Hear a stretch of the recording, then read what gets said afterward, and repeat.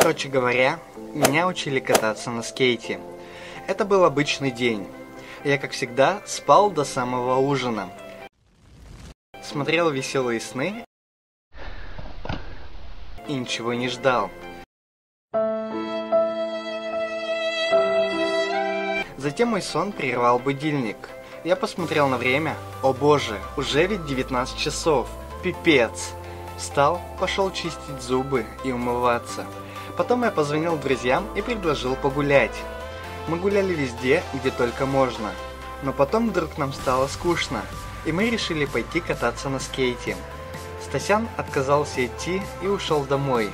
Ну а мы с Олегом и Димой пошли кататься. Честно говоря, я на скейте катаюсь очень плохо. И поэтому я решил взять мастер-класс у моих друзей Олега и Димы.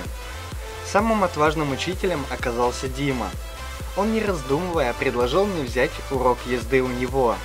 Я смотрел с восхищением на этого молодого сенсея, как он ловко справляется с этой адской доской.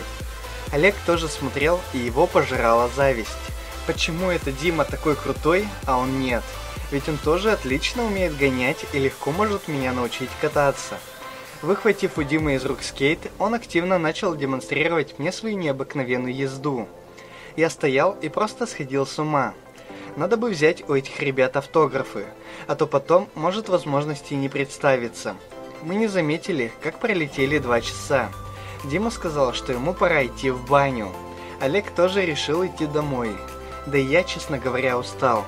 Короче говоря, меня учили кататься на скейте.